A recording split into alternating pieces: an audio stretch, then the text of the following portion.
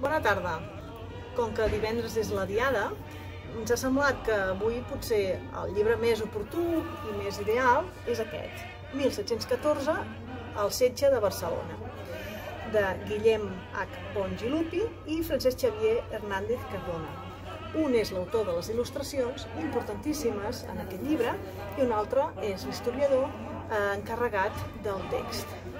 És un llibre que, bé, el títol ja sembla que ho ha de dir tot, però pensem que és un llibre extraordinari perquè té molta, molta il·lustració i a més a més està molt ben combinada amb el text.